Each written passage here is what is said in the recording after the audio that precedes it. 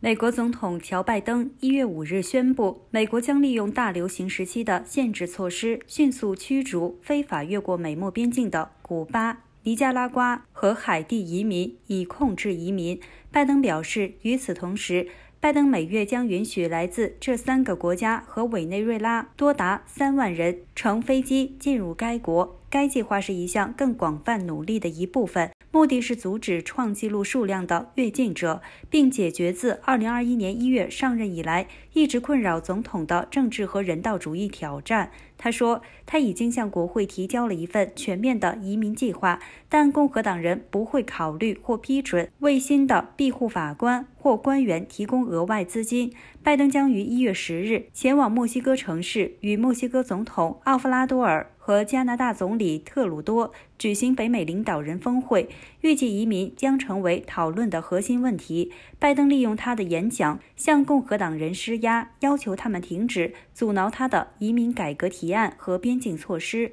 并要求国会提供必要的资源。